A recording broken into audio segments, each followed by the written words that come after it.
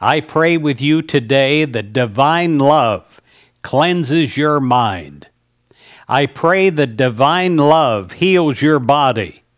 And I pray that divine love makes you well and makes you strong. You live and you move and you have your being in the very essence of divine love. God is at the core of you as your life, and it is making all things whole and well and filled with God love. My friend, if you have a need for healing, I know that you can have the creative, harmonizing, cleansing, and sustaining power of divine love. And it can be in you in its perfecting way, healing your mind and healing your body, making you well and making you strong.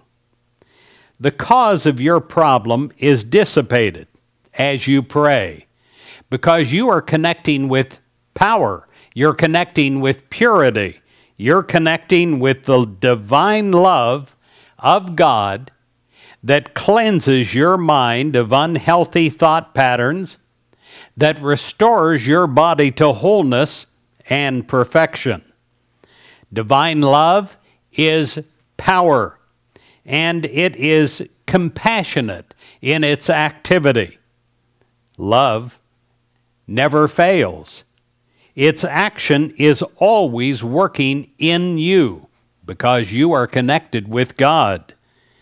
You affirm the presence and the power of divine love, and you're set free from doubts of healing. You know that your prayer is being answered and that love is doing its healing work, for that is the nature of divine love.